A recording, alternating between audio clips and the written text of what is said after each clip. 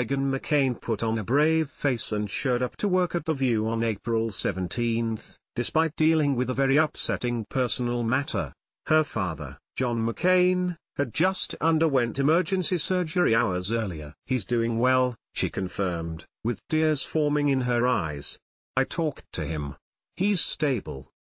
Meghan confirmed that she'd finish the April 17 show and be in attendance for the April 18 show, but then would be heading to Arizona to be with her dad during his recovery. On Sunday, Senator McCain was admitted to Mayo Clinic in Phoenix, Arizona, and underwent surgery to treat an intestinal infection related to diverticulitis, the senator's office said in a statement. Over the last few months, Senator McCain has been participating in physical therapy at his home in Cornville, Arizona, as he recovers from the side effects of cancer treatment.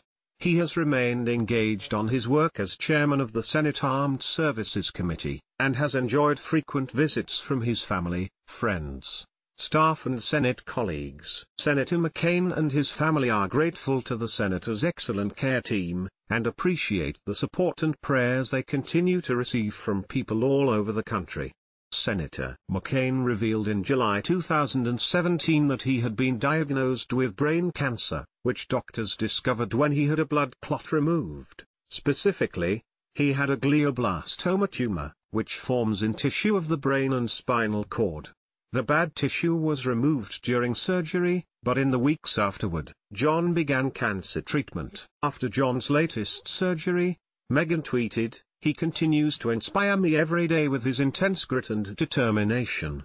Thank you to the doctors at Mayo Clinic in Phoenix and to everyone who is praying for him. Watch her reaction on The View in the video above.